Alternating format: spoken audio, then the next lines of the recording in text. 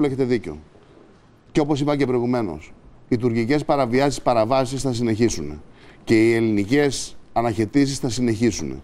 Θα συνεχίσουν όσο η Τουρκία επιμένει στις θέσεις της και όσο εμείς διαφυλάσσουμε την δική μας κυριαρχία. Ναι, αλλά δεν πρέπει να πάψουμε να είμαστε τόσο καλά παιδιά στο ΝΑΤΟ.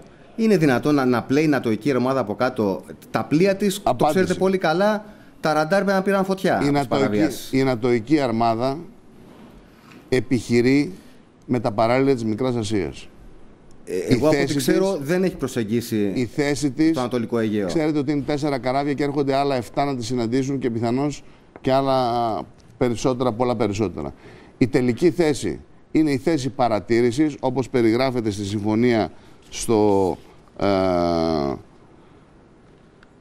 στο σημείο, μισό λεπτάκι, στο σημείο 3, που λέει ότι στόχος της SNMG2, δηλαδή της δύναμης του ΝΑΤΟ Μεσογείου, να προχωρήσει σε αναγνώριση, παρατήρηση και επίβλεψη για την παράνομη μεταφορά μέσω του Αιγαίου ανθρώπων σε συνεργασία με τις αρμόδιες αρχές που είναι... Η Frontex θα υπάρχει πουθενά σε όλο αυτό. Εμείς θέλουμε να υπάρχει. Θα υπάρχει. Και ελπίζω ότι κάνει μια και μεγάλη... Και επίσης για πόσο καιρό θα είναι το ΝΑΤΟ θα στο Αιγαίο. κάνει μια μεγάλη προσπάθεια. Δηλαδή η συμφωνία αυτή έχει, Ο Επίτροπος... έχει ημερομηνία λήξης; Είναι επαόριστον θα είναι παρόν το ΝΑΤΟ εδώ; Καταρχήν η συμφωνία αυτή, να πούμε, γιατί στην αρχή άκουσα κάποια κριτική από τον κύριο Δένδια από τη Νέα Δημοκρατία. Είναι μια συμφωνία που επετέφθη. Ο, ο κύριος Δένδιας είπε ότι κάνατε στροφή 180 μοιρών στη, στην ε, εθνική και μετά πολιτική. Στρο... Και μετά έκανε στροφή 180 μοίρε στη Νέα Δημοκρατία.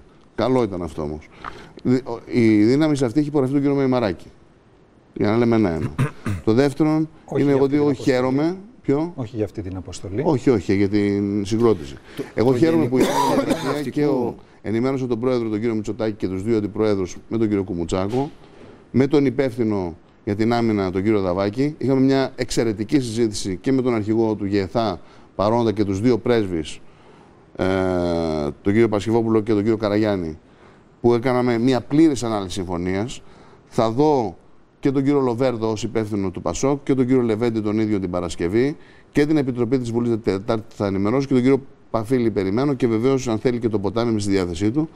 Διότι αυτή η συμφωνία είναι μια συμφωνία με την οποία δεν έχει λόγο κανένας Έλληνας να διαφωνήσει. Δεν μου απαντήσατε πότε τελειώνει αυτή η συμφωνία. Η συμφωνία αυτή θα τελειώσει πότε θα όταν θα σταματήσει να υπάρχει πιθανότητα ροής μεταναστευτικών μεταναστευτικού πληθυσμού είτε προσφύγων από τη μεριά της Τουρκίας προς την Ευρώπη. Ποιος θα το αποφασίσει; Όταν θα μπορέσουν να δημιουργηθούν οι συνθήκες εκείνες να γυρίσουν οι άνθρωποι στα σπίτια τους. Γιατί το προσφυγικό θα λυθεί, και αυτό πρέπει να το πούμε κάποια στιγμή, όταν θα μπορέσουμε να εξασφαλίσουμε ότι θα πάνε αυτοί οι άνθρωποι όλοι στα σπίτια τους και θα ζουν ασφάλεια. Και αυτό είναι θέμα το οποίο θα πρέπει να μας απασχολήσει περισσότερο από όλα τα άλλα. Στη συμφωνία υπάρχει αναφορά για το πού θα επιχειρεί η δύναμη, γιατί εσείς καλά μας τα είπατε, αλλά στο κείμενο και στο σημείο που διαβάσετε, το Αιγαίο γενικώς αναφέρεται. Να ναι. προσθέσω κάτι στο, στο ερώτημα. Ναι, πάρει. Λέει το, the lines, επιτελείο ναυτικού. The lines, το επιτελείο ναυτικού. The lines, αμέσως θα με και να απαντήσω αυτήν την ερώτηση. The lines of illegal trafficking and illegal migration. Ε, ε τα lines είναι παντού. Δεν είναι παντού. Τα lines αυτά είναι πέντε συγκεκριμένα, αναγνωρισμένα, με συγκεκριμένη ροή. Δηλαδή στη Μυτιλίνη έχουμε μια ροή 3.500 μεταναστών και προσφύγων κάθε μέρα. Περίπου, τώρα έχουν μειωθεί πάρα πολύ. Στην ε, Χίο έχουμε γύρω στους 800 στη Σάμο λιγότερους, στην Κό πολύ λιγότερους και σε άλλα σημεία κατά καιρούς πάρα πολύ λιγότερα. Τα βασικά σημεία προσβάσεως είναι εκείνα τα οποία θα παρατηρούνται και θα επιθυμούνται και θα επιθεωρούνται. Επομένως, όχι στο υπόλοιπο Αιγαίο. Όχι στο υπόλοιπο Αιγαίο, δεν κάνω λόγο. Δηλαδή δεν θα περνάνε μέχρι εκεί. Πώς θα μπορέσει με ένα φουσκωτό με μια, ε, μια τριαντάρα μηχανή και αντί να είναι 25 να είναι 100 άνθρωποι να προχωρήσουν παραπάνω. Κάποια άλλα σκάφη. Πάντως, μια, μια τέτοια συμφωνία για να λειτουργήσει, κύριε Υπουργέ, βασίζεται στην καλή θέληση όλων των πλευρών. Ναι, αλλά εδώ οι Τούρκοι την Παρασκευή, μια μέρα μετά τις επίσημες ανακοινώσεις για το ΝΑΤΟ, ανακοίνωσαν ότι βγάζουν πάλι το σεισμογραφικό σκάφος Τσεσμέ για έρευνες στο Αιγαίο και την αμέσως επόμενη μέρα αμφισβήτησαν τα ελληνικά χωρικά ύδατα μεταξύ Καρπάθου και Ρόδου. Να πω και άλλα. Και τι, σήμερα τι καλή θέληση, λοιπόν. Ποια καλή θέληση και ποια ναι. συνεργασία. Εμείς λοιπόν κύριε Χατζηνικολάου, αυτό το οποίο Εδώ φτάνουν ανοιχτά τους Σουνίου τα σκάφη. Να είναι σαφές ότι οι Νατοικοί πια θα είναι στον τόπο και θα βλέπουν το πώς συμπεριφέρεται η σύμμαχος Τουρκία στην σύμμαχο Εννοείται Ελλάδα. Δεν τα ξέρουν. Έχει σημασία αυτή Δεν τα ξέρουν όλα αυτά τα χρόνια. Δεν τα βλέπουν. Ξέρετε όμως κάτι. Είναι άλλο κύριε Χαζεκολάου να είσαι επιτόπου και να λες στην Τουρκίας, κοίτα να δεις, έχουμε αυτή έναν απόπλου. Σταμάτησέ τους. Εάν η Τουρκία δεν κάνει τη δουλειά της και δεν το σταματήσει, αυτό να ξέρετε θα έχει κόστος για την Τουρκία. Κύριε Υπουργέ, και, πάμε στον κύριο Καρβουνόπουλο πάλι. Στο, στο, κύριε Υπουργέ. Κύριε, κύριε Καρβουνόπουλο, μισό λεπτό για τη Frontex. Επειδή το παίρνουμε στον Τούκου για τη Frontex. Εμείς θέλουμε τη Frontex. Τη Frontex θέλουμε να εμπλακεί και να επιχειρήσει στα τουρκικά. Αυτή ήταν η πρώτη πρόταση της ελληνικής κυβέρνησης και αυτή την πρόταση πήρε και επεξεργάστηκε η Γερμανία και τη μετέτρεψε σε, σε σχέση με τον ΝΑΤΟ. Τι κόστος θα έχει την Τουρκία, κύριε Υπουργέ; Μέχρι τώρα, ό,τι θέλει η Τουρκία το έχει κερδίσει σε αυτή την ιστορία. Σε όλα. Την ενταξιακή της διαδικασία, το άνοιγμα κεφαλαίων, το κερδίζει. Τη βίζα την κερδίζει. Λεφτά, μόνος σας το είπατε. Ξεκίνησε με 3 δισεκατομμύρια. Όλες τις διαδικασίες για την ενταξιακή της ε, πορεία στην Ευρώπη σιγά σιγά διαπραγματεύεται πολύ σκληρά. Είδαμε τους διαλόγους του Ερντογάν. Λοιπόν, διαπραγματεύεται όμως, τα βάζει στο τραπέζι και τα κερδίζει, κύριε Υπουργέ. Λεφτά, μόνο σας το είπατε. Τρία δισεκατομμύρια ξεκίνησε, έχει φτάσει στα 9 και την περασμένη εβδομάδα ο Νταβούτογλου ζήτησε 30. Λοιπόν, τα λεφτά τα παίρνει, τα παίρνει το 1 δισεκατομμύριο χωρίς καμία προκαταβολή, χωρίς καμία διαχειριστική αρχή, χωρίς τίποτα απολύτως. Άρα λοιπόν το ΝΑΤΟ ήθελε και το έφερε. Άρα λοιπόν η Τουρκία δυστυχώς, αλλά ό,τι θέλει μέχρι τώρα το έχει. Κυρία Μακρύ, ακούστε κάτι.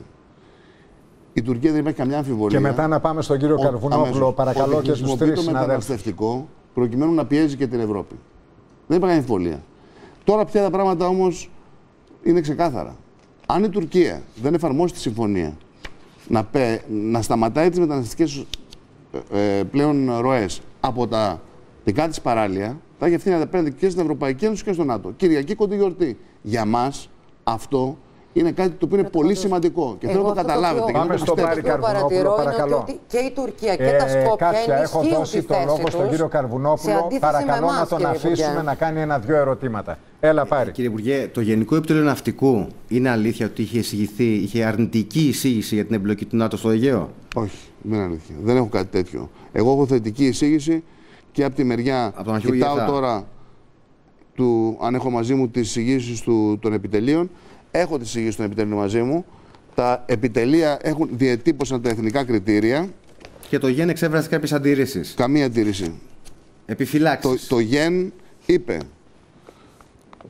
Τώρα δεν μπορούμε να λέμε πολλά πράγματα. Το ΓΕΝ διατύπωσε τη θέση την ξεκάθαρη ότι δεν πρέπει με κανένα τρόπο να δεχθούμε να επιχειρεί το τουρκικό πολεμικό ναυτικό εντός ελληνικών χωρικών υδάτων ικανοποιήθηκε.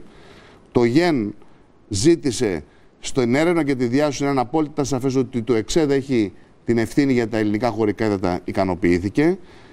Το ΓΕΝ ζήτησε να μην υπάρχει διοίκηση τουρκική στην ατοική δύναμη και αυτό ικανοποιήθηκε. Ό,τι ζήτησε η ελληνική πλευρά ικανοποιήθηκε και μάλιστα θα σας πω ότι στι διαπραγματεύσεις δεν ήταν εύκολες. Εκεί που υπήρχε μεγάλη διαφορά ήταν σε σχέση της ε, εφαρμογής της συνθήκης από, από τα ελληνικά, το ελληνικό στράτευμα στην Ελλάδα και την Τουρκία στην Τουρκία. Εκεί κάποια στιγμή διαφωνούσαν γιατί θέλουν να το βάλουμε αλλιώς, θέλουν να το βάλουμε και τα διεθνή μέσα. Σηκωθήκαμε το τραπέζι και φύγαμε. Και οφείλω να πω ότι η ίδια Υπουργός Άμυνας, μάλιστα, αυτό δεν έχει ξαναγίνει στο ΝΑΤΟ, ήρθε στην αντιπροσωπεία που ήμασταν μέσα και κάποια στιγμή μου λέει: Ο μου είναι υπουργός εδώ. Η ίδια προσπάθησε σε επικοινωνία με την κυρία Μέρκελ και τον Νταβούτογλου ε, να πείσουν τους αντιπροσώπους στην, στο ΝΑΤΟ ότι αν δεν επέλθει συμφωνία λόγω αυτού θα είναι ευθύνη της Τουρκίας και θα είναι τεράστια η ευθύνη. Ε, εγώ ομολογώ ότι δεν έχω καταλάβει γιατί ήρθε το ΝΑΤΟ και τι ε, εννοώ. Και τι εννοώ. Ε, θα διαφωνήσω ότι δεν μπορούσαμε να φυλάξουμε τα σύνορά μας. Από την εποχή που ενεπλάκη το πολεμικό ναυτικό στην επιτήρηση, οι, οι, έγκαιροι, οι έγκαιροι εντοπισμοί δουλεμπορικών αυξήθηκαν κατά 40%. Απλά η Τουρκία δεν μας άκουγε εμάς. Αυτό έλεγα. Λέγαμε πάρ τους πίσω και δεν τους έπαιρνε. Ωραία. Και τώρα, μάλιστα λοιπόν, λέγαμε σταματήστε. Τώρα λέ, λέτε λοιπόν ότι θα υπακούσει το ΝΑΤΟ.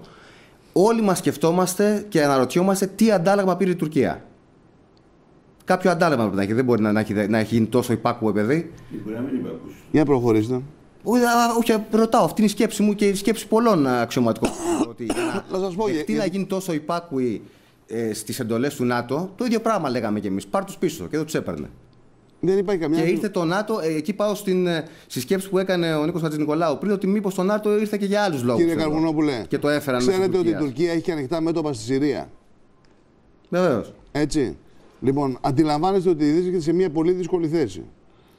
Και βεβαίως το να υποχωρήσει το θέμα το μεταναστευτικό έχει να κάνει και με τη διεθνή της θέση. Μην ξεχνάμε ότι η Τουρκία μέχρι πρόσφατα ήταν απομονωμένη και από το ΝΑΤΟ και από τις Ηνωμένες Πολιτείες και από το Ισραήλ και από τη Ρωσία και από την Αίγυπτο και από την Ελλάδα. Το έχει γυρίσει το παιχνίδι. Έτσι.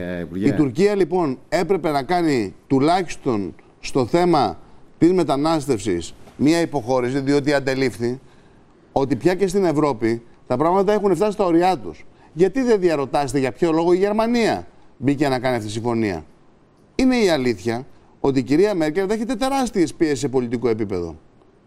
Και αυτή η λύση την οποία της δίνει η Τουρκία στην, ε, στο τέλος του μεταναστευτικού είναι πολύ σημαντικό για την εκλογική διαμάχη και διένεξη που έχει η κυρία Μέρκελ τους επόμενους μήνες. Πρέπει να πάμε Ξέρετε σε... ότι το ίδιος ισχύει στην Αυστρία. Εσείς σαν ε, πολεμικός αναλυτής ε, γνωρίζετε και τις πτυχές, τις αμυντικές του θέματος αυτού. Πρέπει να πάμε σε μια μικρή διακοπή. Θα πάω στον κύριο Γιαλουρίδη όταν επιστρέψουμε για να έχω κάποια πρώτα σχόλιά του. Και θέλω, κύριε Υπουργέ, να μας δώσετε